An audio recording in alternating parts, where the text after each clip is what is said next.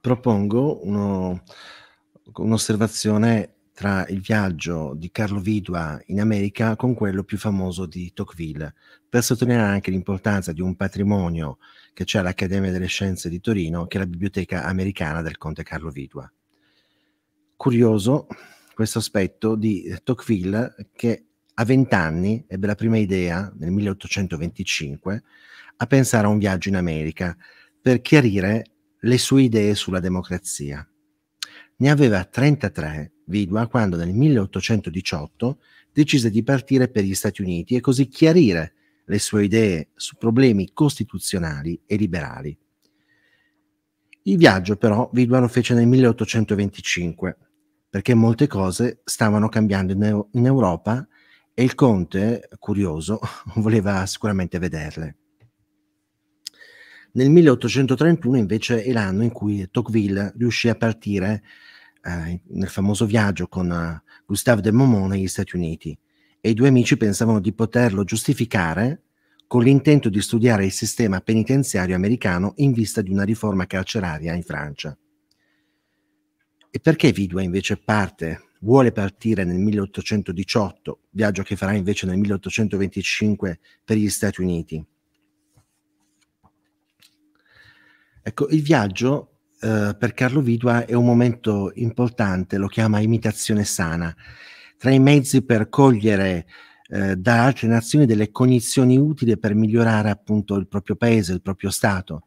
In questo, se volete, è simile a un altro aristocratico della sua epoca, eh, più tardo ovviamente, che è il conte russo Lev Tolstoi, che nel 1857, dopo la disfatta, la, la batosta per i russi della guerra di Crimea, decise di visitare Inghilterra, Francia e Regno di Sardegna per vedere degli esempi concreti da suggerire al nuovo Stato russo che si stava formando con un nuovo zar, non più Nicola I ma Alessandro II. Vidua, nato nel 1785, ormai quando farà poi il viaggio negli Stati Uniti è un quarantenne, mentre invece eh, Tocqueville, che ha letto ovviamente Chateaubriand, il suo lontano parente, è un ventenne romantico che comunque curioso, indagatore e anche sociologo. Ma cosa, la cosa che mi interessava era farvi capire eh, questo momento storico, il perché nel 1818 eh, Vidua non parte sono successe tante cose, c'è stata la caduta di Napoleone che eh, Vidua vede a Parigi nel 1814, per lui questo è un momento ovviamente interessantissimo perché c'è l'entrata degli alleati, cioè degli austro-russi, dei tedeschi e degli inglesi nella stessa capitale che viene occupata appunto dall'esercito che ha vinto a Lipsia na- Napoleone. Nel frattempo, nel luglio del 1814 viene nominato primo segretario del re di Sardegna agli affari interni il padre di Carlo che è Pio Vidua. In realtà Carlo devo dire che rimane deluso dalla restaurazione nel regno di Sardegna che in quegli anni tra il 1814 e il 1821 che è un anno importante perché sono i moti, i famosi moti del 21 in quel periodo uh, ci sono le idee di Filippo Bonarrotti e della propaganda liberale carbonara a cui aderiscono gli amici di Vidua come Sant'Orre di Santa Rosa. Da tempo il nipote del re Vittorio Emanuele I, Carlo Alberto, principe del ramo collaterale dei Savoia, il Carignano, erede al trono, re Vittorio Emanuele I aveva solo una figlia che in base alla legge salica non poteva succedergli, dimostrava attenzione alle idee liberali e privatamente confessava di non avere alcuna voglia di tutela politica da parte degli austriaci. A questi preferiva addirittura lo zar Alessandro I, del quale ammirava la sensibilità e le aperture che vi erano nel suo governo per opera del suo ministro degli esteri, il principe polacco Adam Jerzy, principe di Czartoryski. A Pietroburgo, accanto allo zar e al ministro, operava infatti un circo detto dei giovani amici che si ispirava a un liberalismo occidentale e a una strategia di politica estera che avvicinasse di più la Russia a quell'Inghilterra liberale e parlamentare alla quale guardava con ammirazione Carlo Vidua. Dopo la restaurazione in Piemonte ritornò sul trono di Vittorio Emanuele I, esigeva anche secondo lo zar Alessandro un certo impegno del sovrano a ben governare e a dare ai suoi popoli una Costituzione libera e saggia. Nel 1818 il 33enne Carlo Vidua si accorse però che la politica di Vittorio Emanuele I stava andando in tutt'altra direzione. La censura, l'invadenza della Chiesa, la ipocrisia della corte gli procuravano un senso di oppressione e di sgomento che erano simili a quelli che provava il ventenne principe ed erede al trono Carlo Alberto. E nello stesso anno, 1818, accade una cosa singolare, che reglerà in qualche maniera le aspirazioni liberali del futuro re di Sardegna a quelle di Vidua e del circolo di amici che negli anni napoleonici si era radunato nella società dei Concordi.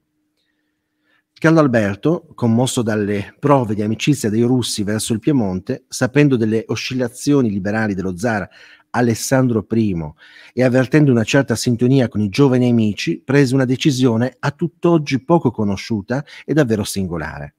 Decise di fuggire da Torino e di raggiungere segretamente la Russia per intrecciare rapporti politici più intensi e importanti di quelli ufficiali, per trovare spunti ideali nell'opera dei circoli politici pietroburghesi, utili alle sue future funzioni di sovrano.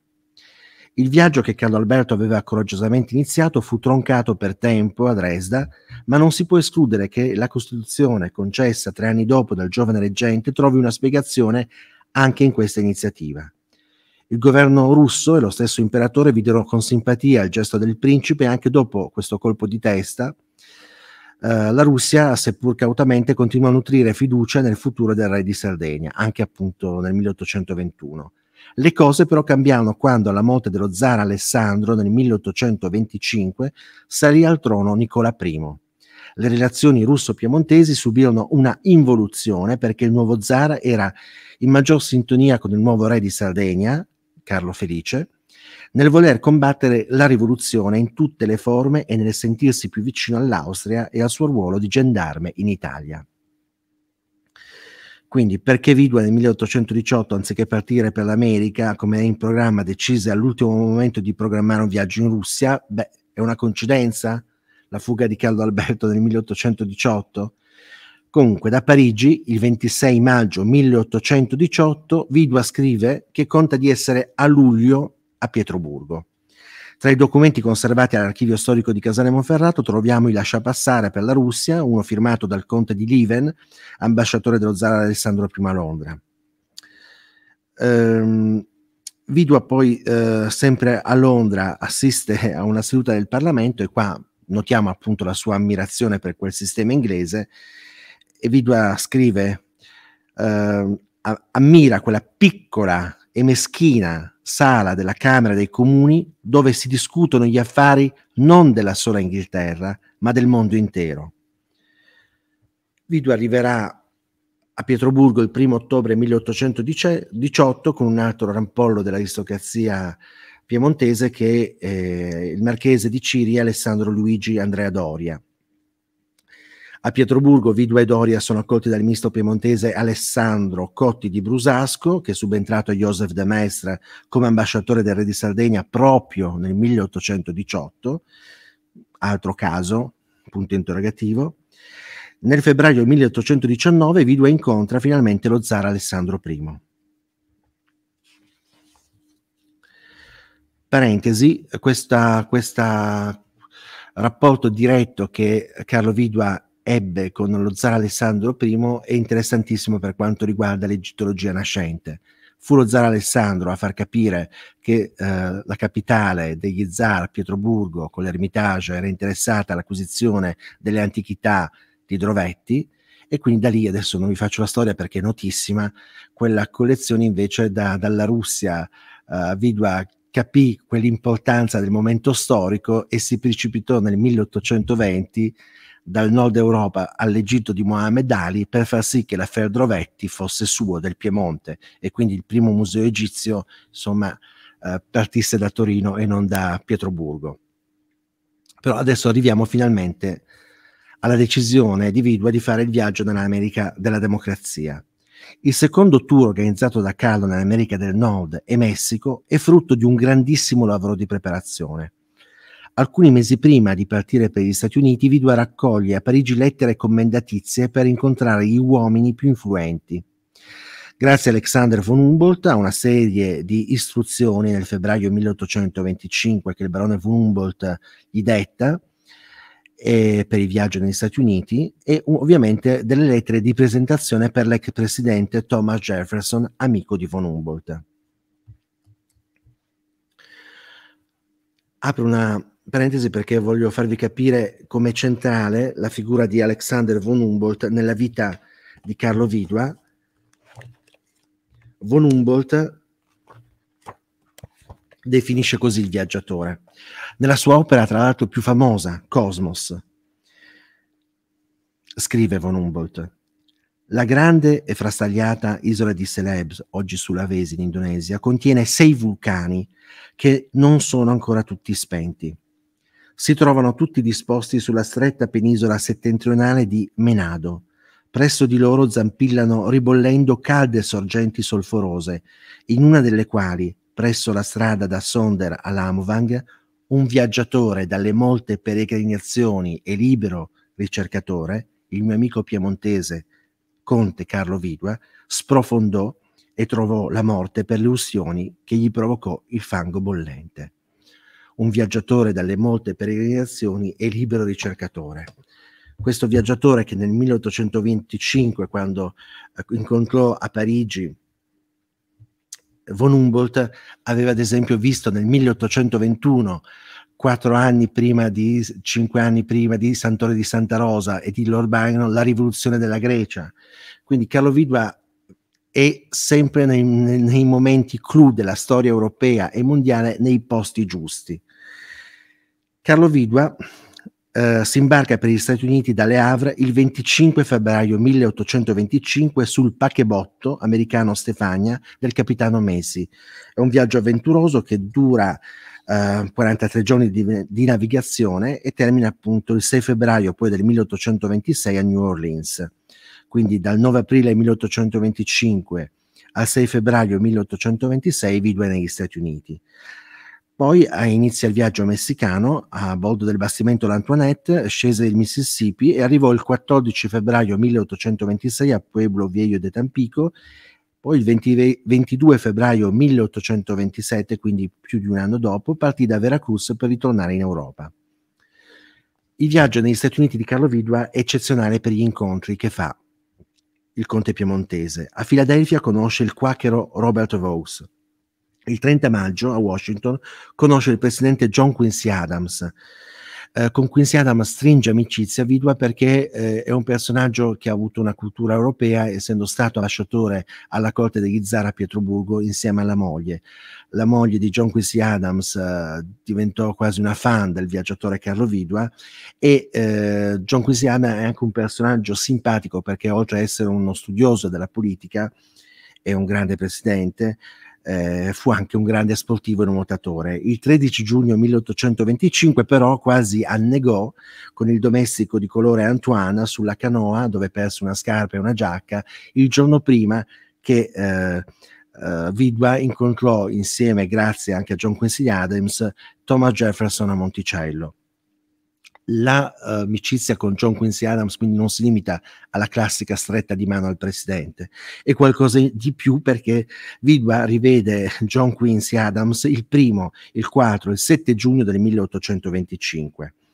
Testimone degli incontri è il viaggiatore svizzero di Basilea Lucas Fischer, Evidua ammira John Quincy Adams, che non a caso nel 1817 fu voluto dal presidente Monroe come segretario di Stato e fu il principale ideologo della dottrina Monroe, confermando che in politica i grandi creatori non sono quelli che concepiscono, ma solo quelli che eseguiscono.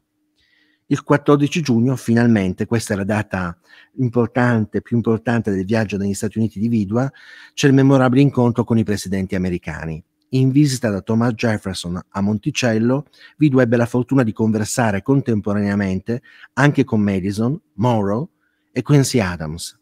A Monticello non c'era il vecchio John Adams, secondo presidente americano dopo George Washington, che Vidu incontrò però il 2 settembre dello stesso anno a Boston. Vidua intervista i presidenti e testimonianza sono le lettere pubblicate da Balbo nel 1834 che ho citato nel mio saggio Carlo Vidua, un romantico atipico. E eh, Vidua afferma, prima delle domande, una cosa molto interessante. I momenti che si passano con uomini di questa sorta sono preziosi, ma ordinariamente perduti, perché la presenza di altre persone e la circospezione impediscono di interrogare e di rispondere. Qui invece eravamo in villa, eravamo soli, io straniero, essi ritirati dagli affari, sicché la conversazione non poté essere né più libera né più interessante. E siccome essi non si mostravano schivi di rispondere, io non mostrai paura di interrogare e condussi a poco a poco il discorso sopra molte e diverse questioni d'altra politica, come sarebbero a dire le seguenti. Se la separazione delle colonie spagnole deve riguardarsi come irrevocabile, che credere della stabilità dell'attuale loro organizzazione? Se potranno sussistere in forma di repubblica? Quanto tempo è credibile che duri la loro propria senza separarsi o senza cambiare? Se la molteplicità delle sette non produrrà una totale indifferenza in materia di religione? Se e quando sarà abolita la schiavitù dei neri? Che pensare del gran cambiamento che ora si fa nel sistema di finanza dell'Inghilterra? Che effetto farebbe il governo americano trasportato in Europa? E dove sono le risposte eh, dei presidenti alle domande di Vidua? A noi non ci sono pervenute, tuttavia il viaggiatore eh, avvisa i suoi eh, corrispondenti, dal padre agli amici, che queste risposte ci sono. Un mistero, vedremo che tra i tanti misteri di questa nostra conversazione c'è anche un trattato politico. Il giudizio però di Carlo Vidua su quell'eccezionale incontro è originale e vi cito di nuovo dalle lettere pubblicate dal Balbo citate nel saggio Carlo Vidua un romantico tipico. Vidua osserva, se mi fosse chiesto il paragone fra questi quattro personaggi e che non mi paresse presunzione di farlo, direi che l'ingegno di Jefferson mi è sembrato il più brillante, quello di Madison il più profondo, di Monroe il meno acuto e l'ingegno dell'attuale Adams il più coltivato. Gli americani generalmente celebrano Jefferson come il primo uomo della loro repubblica e talora, seguendo il loro uso di vantarsi, dicono del mondo intero. Ne ho trovato pochi del mio avviso, cioè che preferissero Madison, ma le qualità di questi pochi mi consola del non seguire l'opinione del volgo. È un peccato che Cesare Balbo nel 1834-35, quando pubblica le famose lettere in tre tomi di Vidua, non ci abbia lasciato anche le risposte dei presidenti. Questo si spiega perché eh, all'epoca nel Regno di Sardegna c'era una doppia censura, se non tripla, interveniva lo stesso re Carlo Alberto, uh, c'era una censura ecclesiastica, c'era una, una, censura dello Stato, di politica non si poteva parlare, di religione neanche, e quindi ovviamente um, nelle bozze, anche a stampa di Balbo, queste, queste, risposte dei presidenti non ci sono pervenute. Io spero di trovarle un giorno in forma di copia, magari tra i documenti conservati qui all'Accademia delle Scienze. Finalmente il viaggio nell'America della democrazia appunto eh, termina anche con l'incontro con Jefferson che a Monticello non è banale, come quello, abbiamo detto, la classica stretta di mano. In maniera eccezionale c'è uno scambio di lettere tra Vidua e Jefferson, e bisogna dire che Vidua in questo è più fortunato di Tocqueville. Tocqueville incontrò nel 1935 il presidente Jackson, ma non gli altri ex presidenti, e Carlo Vidua fu fortunato a incontrare Jefferson e Adams nel 1825 perché i due presidenti americani morirono l'anno dopo, tutti e due tra l'altro lo stesso giorno, il 4 luglio del 1826, mentre il paese celebrava il cinquantesimo anniversario dell'indipendenza. Jefferson morì a, nella casa di Monticello a 83 anni, Adams novantenne a Braintree. Nel lungo viaggio negli Stati Uniti, con un periodo di ricerche anche nel Canada, Vidua si interessa continuamente alla comunità quacchera, raccogliendo informazioni, giornali e libri già radunati dopo l'incontro con Robert Vaux a Filadelfia. Sul Mississippi, il 17 gennaio 1826, scrive Vidua al conte Luigi Mestre, suo amico di Casale Monferrato e lontano parente di Joseph de Maistre, alcune osservazioni su questa parte degli Stati Uniti chiamata Western Country, sull'ovest degli Stati Uniti ancora sconosciuti agli americani e ovviamente agli europei, nelle carte dell'epoca eh, notiamo che sono presenti solo gli stati della parte est, quindi le prime colonie, in mezzo c'è il vuoto e non si conosce ancora la California e l'ovest perché sono territorio messicano, tra l'altro, all'epoca. Um, Tocqueville, una decina d'anni dopo, questo viaggio spericolato di Vidua, non riuscì a vedere le stesse cose che eh, il viaggiatore piemontese visitò dieci anni prima di Tocqueville. E anche per questo il viaggio di Vidua negli Stati Uniti è memorabile. Osserva, 40 anni fa era una selva continua ed inabitata la Western Country. 30 anni fa i primi abitatori ebbero a combattere gli indiani e dove ora sorgono città e villaggi non c'erano a ricordanza d'uomo se non boschi e alcuni selvaggi. Questo è il più brillante teatro dell'industria di questo attivissimo popolo. L'americano non ha la maladie du pays, l'attaccamento al campanile di Santo Stefano, il rincrescimento di staccarsi dagli amici, dai parenti, da una patria. Tutti questi sentimenti gli sono stranieri. All'età di vent'anni essi prende una moglie e va a cercare fortuna all'ovest. Il sindaco di Boston, altra personalità di spicco che Vidua conosce negli Stati Uniti, Josiah Quincy, tra l'altro futuro poi presidente dell'Università di Harvard, scrisse di Vidua, analitico, curioso, intelligente, collezionista di tutto ciò che riguarda la storia di questo paese. Vidua è intento in modo non comune alla ricerca della storia e dello stato attuale di questo paese. Poi, il 17 settembre 1825, annotò, riguardo alla politica, Vidua osservò che niente l'aveva così impressionato come il destino futuro degli Stati Uniti e il mancato successo alla presidenza di Jackson, per poco perché il passato dimostrava che l'abilità militare e la forza avevano guadagnato l'amore per il popolo degli Stati Uniti.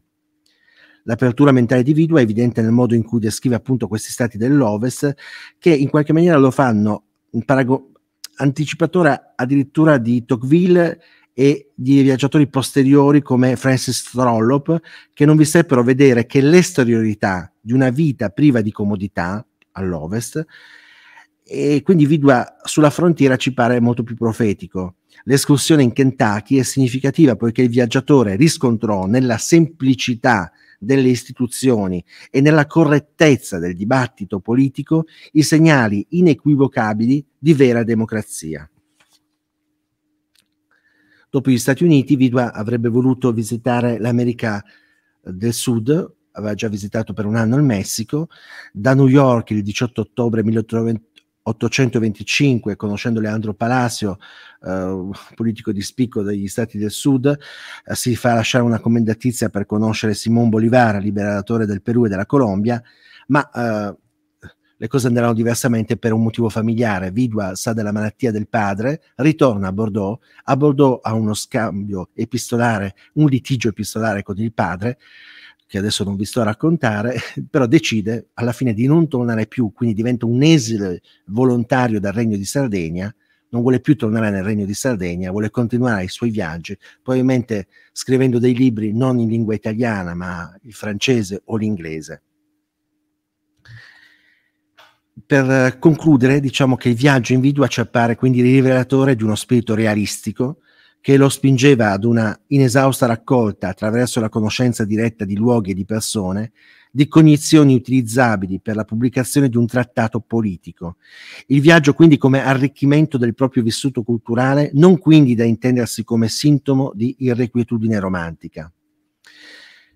Da Bordeaux nel 1827 Vidua non ritorna in Sardegna, farà il suo terzo grande viaggio, arriverà in India, Cina, Indonesia, eh, avrebbe voluto visitare l'Australia e poi dall'Australia fare il Cile e il Perù e poi tornare con il Tour du Monde in Europa. Diversamente andò e una, in pochi giorni, tra la notte del 15, 16 e 21 maggio del 1829, Vidua scrisse il trattato politico. Quest'opera, però, è andata perduta.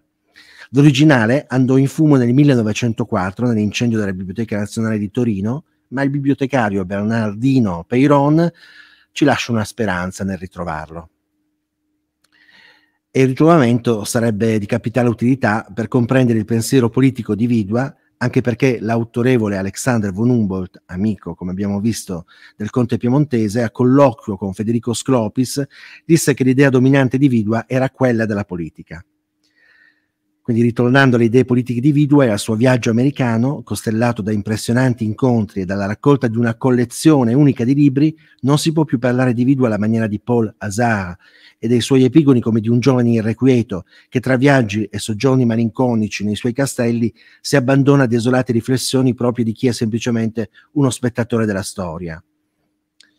Vidua, come abbiamo visto in queste poche note, non è spettatore della storia. Nel mille, nell'aprile del 1821 non partecipa ai minuti piemontesi, ma si trova in Grecia, dove scoppia la rivoluzione, e lì anticipa addirittura Byron e Santoro di Santa Rosa.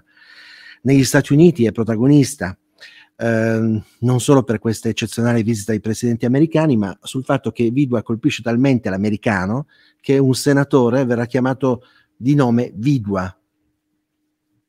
E poi c'è la biblioteca americana. La biblioteca america- americana, eh, Vidua la descrive così, arriverà poi nel Piemonte, verrà donata dagli eredi di Vidua all'Accademia delle Scienze ed era composta da sette casse partite appunto di libri eh, acquistati da Vidua negli Stati Uniti e due casse di libri acquistati da Vidua in Messico.